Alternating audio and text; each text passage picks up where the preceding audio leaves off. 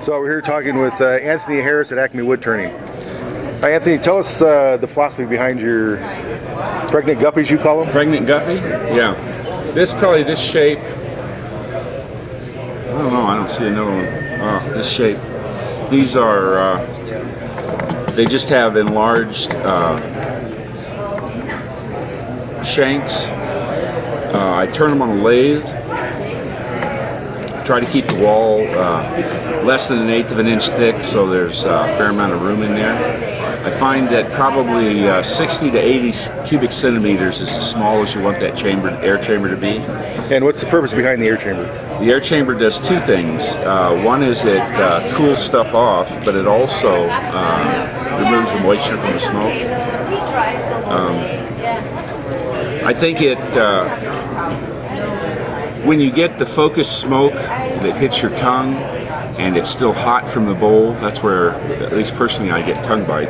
And so when you can get the smoke to uh, dissipate inside the chamber, it cools off and, it, and that's not as uh, bad, at least for me. What does it do for the mechanics of the pipe? Well, uh, it doesn't change it. I keep the, uh, I drill the pipe fairly open so that it's, uh, it never draws hard. Um, try to keep the uh, the draft hole. The draft hole is about, I guess, it's about as long as my finger is wide, and the rest of it's just all chamber. I make the stems out of two pieces so that uh, uh, when the wood gets moist from the smoke or heats up, it expands. Mm. And so this piece has to screw in a little further in order to seal. So that's threaded? Oh, yeah.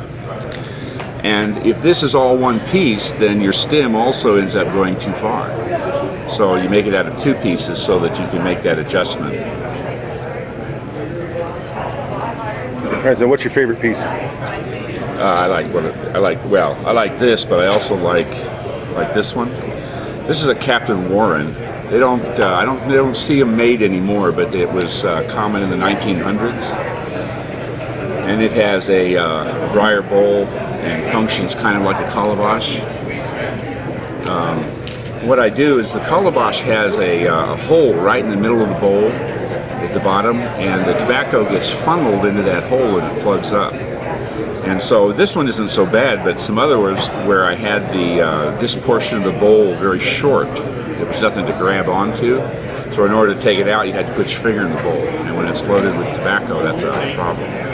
So what I did instead of uh, drilling one hole in the middle, I drilled two holes and I bring them out at the side so you never have to really worry about them uh, clogging up. Now when you insert the bowl, do those holes have to be oriented in a certain place? Or? Yes. Well, they don't have to be. I choose to make them. Okay. And what they are is they're oriented toward the front. All right, so that's also threaded, so when you screw them in, it's going to place See them yeah. by where they're supposed to be. Yeah. And you put it in the front so the smoke has to stay in the chamber as long as possible. This one's the same idea. I really do prefer the larger chambers. I think they work a lot better. When I first uh, made one of these, I wasn't certain they were going to work.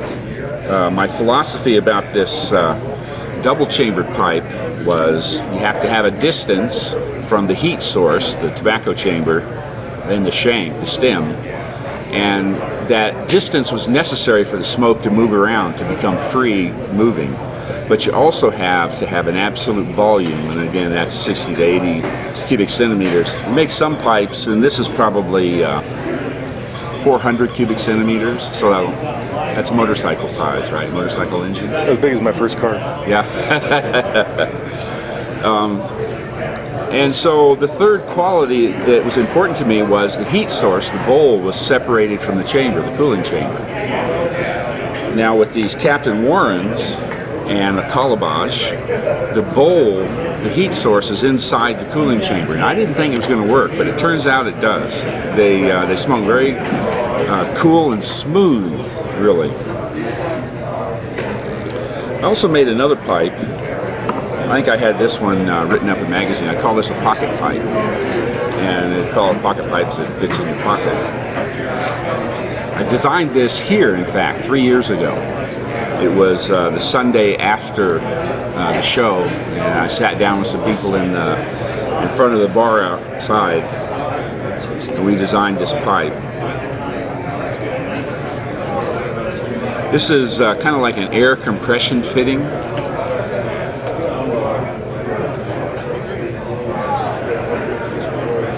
And it's also got a second chamber, just like the other pipes. Second chamber on this one isn't really big enough to get to give you the cooling qualities, but it does uh, collect moisture. And that makes it nice. Holy cow. That's a piece of ingenuity.